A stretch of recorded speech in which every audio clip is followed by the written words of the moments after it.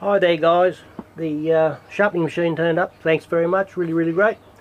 I just put a, um, a dial gauge on the plate and I can see why you're having trouble, it's not actually dead flat at all.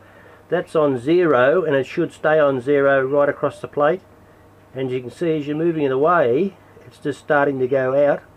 But as it comes back to the edge it starts to go back to halfway to zero anyway. So and if you did blades like that it, would have trouble. You're supposed to have no movement at all.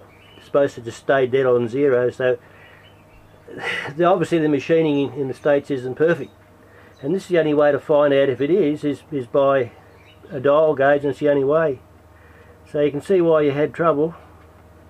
It would have been terribly frustrating. So I'll get someone to machine it properly and see what we can do with it but you can see it just moves back to zero again.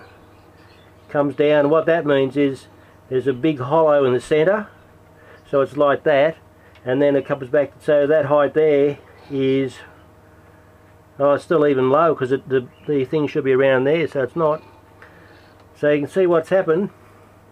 No wonder you was getting creaky with it. But anyway I'll get this video off to you and thanks for that and we'll keep going the way we go and I'll let you know any further progress with it. Ta for that all the best